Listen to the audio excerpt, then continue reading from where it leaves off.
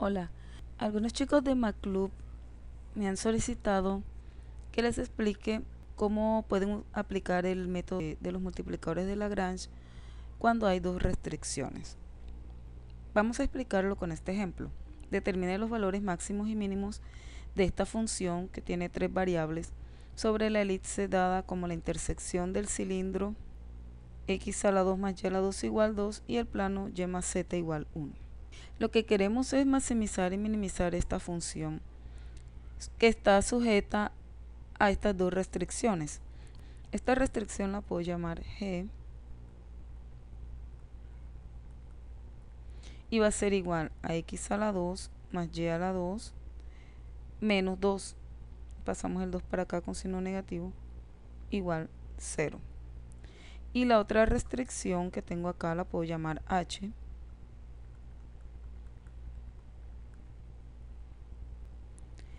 va a ser igual a y más z menos 1 igual a 0. Y utilizamos las ecuaciones de Lagrange, que son estas que les voy a mostrar acá. Observen que debemos hallar las derivadas parciales con respecto a cada una de las tres variables. Y tendremos dos multiplicadores lambda y mu para poder aplicar en las derivadas parciales de g y de h. Al final pues tendremos las restricciones igualadas a cero. Vamos entonces a plantear estas ecuaciones de acuerdo al ejercicio. Derivada parcial de f con respecto a x. Recordemos que esta es f.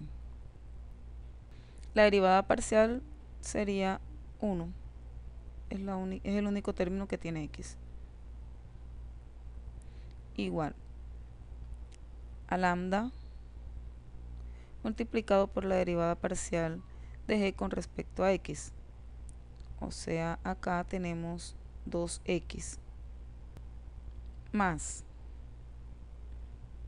Ahora viene la variable mu multiplicada por la derivada parcial de h con respecto a x. Como acá no hay x, entonces pues sería 0. No necesitamos esto.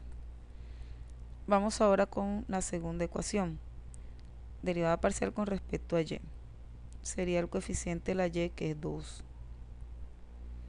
Igual a lambda por la derivada parcial de g con respecto a y. Acá sería 2y. Más mu multiplicado por la derivada parcial de h con respecto a y, coeficiente de la y que es 1. No lo escribo. Tercera ecuación. Derivada parcial con respecto a z nos da 3 igual a lambda por la derivada parcial con respecto a z. Como no hay z, sería 0, entonces no queda este término acá tendríamos mu por la derivada parcial de h con respecto a z. Sería 1. No lo escribo. Entonces tenemos, por ejemplo, que mu es igual a 3. Vamos ahora con la cuarta ecuación, que es esta que está acá. x a la 2 más y a la 2 menos 2 igual 0. Y la quinta ecuación es esto. y más z menos 1 igual 0. Entonces hemos obtenido un sistema de cinco ecuaciones con cinco variables x, y, z, lambda y mu. Tenemos ya que mu es igual a 3. De aquí podemos, por ejemplo, despejar la x. x es igual el 2 y lambda pasan a dividir. Queda 1 sobre 2 lambda. De esta ecuación además yo puedo decir que 2 menos mu, lo paso para el lado izquierdo con signo negativo, es igual a 2 lambda y. Entonces despejamos la y.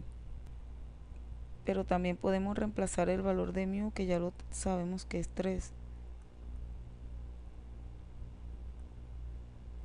Esto va a ser igual a y, pase esto a dividir. 2 menos 3 es menos 1 sobre 2 lambda igual a y. Como tenemos que x es igual a 1 sobre 2 lambda y y es igual a menos 1 sobre 2 lambda, puedo reemplazar esas variables acá en la cuarta ecuación. Voy a retirar esto para ganar espacio. Voy a tomar entonces la cuarta ecuación, x a la 2 más y a la 2 menos 2 igual 0. Y voy a reemplazar la x, 1 sobre 2 lambda a la 2, más y a la 2 menos 1 sobre 2 lambda elevado a la 2. Puede incluso pasar el, el 2 de una vez con signo positivo hacia el otro lado. Elevamos al cuadrado, 1 a la 2 es 1, 2 a la 2 es 4 y queda lambda a la 2. Más, base negativa con exponente par nos va a dar positivo, por lo tanto esto va a dar igual que el primer término. Igual 2. Tengo una suma de fracciones con igual denominador, sumo los numeradores y dejo el mismo denominador. Lo que quiero en este momento es hallar el valor de lambda. Entonces voy a despejarla. Esto pasa acá a multiplicar. Me quedaría 2 por 4, 8 lambda a la 2 igual a 2. Por lo tanto, lambda a la 2 es igual a 2 sobre 8 que simplificado me da un cuarto. Como lambda está elevado al cuadrado, sacamos raíz cuadrada a ambos lados de la ecuación y nos va a quedar que lambda tiene dos valores, uno positivo y otro negativo. La raíz cuadrada de 1 es 1 y la de 4 es 2. Nos da más o menos un medio. Ya lo que falta entonces es reemplazar esos valores en x, en y y utilizar la quinta ecuación para hallar z. Entonces iniciamos con el valor positivo de lambda, cuando lambda es un medio positivo. Aquí me quedaría x es igual a 1 sobre 2 por un medio. Eso me da 1. La x vale 1. Vamos ahora a hallar el valor de la y. y es igual a menos 1 sobre 2 lambda, o sea 2 por un medio. Simplificamos el 2 y nos va a quedar menos 1. Para hallar la z trabajamos con la quinta ecuación. y más z menos 1 igual 0. La y es menos 1 más z menos 1 igual 0. Despejamos la z es igual a 1 positivo más 1 positivo y eso nos da 2. Entonces hemos obtenido hasta ahora un punto crítico cuando lambda vale un medio positivo. Ese punto es 1 menos 1, 2. Tenemos ahora que hallar el valor de x, y, z cuando lambda es un medio negativo. Voy entonces a borrar para hallar el otro punto.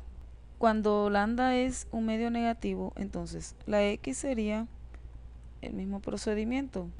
Simplificamos el 2 y eso nos va a dar menos 1. Para la y, entonces sería menos 1. 2 por menos medio, simplificamos el 2. Menos por menos nos va a dar más. Queda 1. Y para la z, como la y vale 1, queda 1 más z menos 1 igual 0. 1 menos 1 es 0, entonces z es igual a 0. El otro punto entonces será menos 1 la x, 1 la y y 0 la z. Deseamos saber si son máximos o mínimos. ¿Qué hay que hacer? Hay que reemplazarlos en la función f para poder saber cuál es el máximo y cuál es el mínimo. Entonces voy a evaluar la función f en el punto 1 menos 1, 2. Será igual x que es 1 más 2 por y que es menos 1 más 3 por z que es 2. Aquí me da menos 2, aquí me da 3 por 2, 6. 6 más 1, 7, menos 2, 5. Y voy con el otro punto. Menos 1, 1, 0. X menos 1 más 2 por y. La y es 1 más 3 por z. Eso nos da menos 1, 2 por 1, 2, 0. Menos 1 más 2 es 1. Concluimos entonces que el valor máximo de la función f es 5 y el valor mínimo es 1. Eso es todo. Espero que me hayan entendido.